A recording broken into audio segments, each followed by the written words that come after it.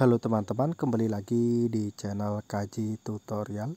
Di kesempatan kali ini saya akan memberikan informasi terbaru kepada kalian semua, khususnya para pengguna aplikasi Dana. Di sini banyak para pengguna aplikasi Dana yang mengalami gangguan. Salah satunya ketika kita mengisi saldo di aplikasi Dana ini uh, saldo tersebut tidak masuk di aplikasi Dana. Apa sih penyebabnya? Silakan kalian simak video yang akan admin berikan. Oke, penyebab yang pertama, kemungkinan besar server Dana masih dalam pemeliharaan sistem. Dan yang kedua, uh, da Dana error akan memberikan fitur terbaru. Jadi, saat kalian top up, saldo belum bisa masuk secara langsung, minimal 2 kali 24 jam.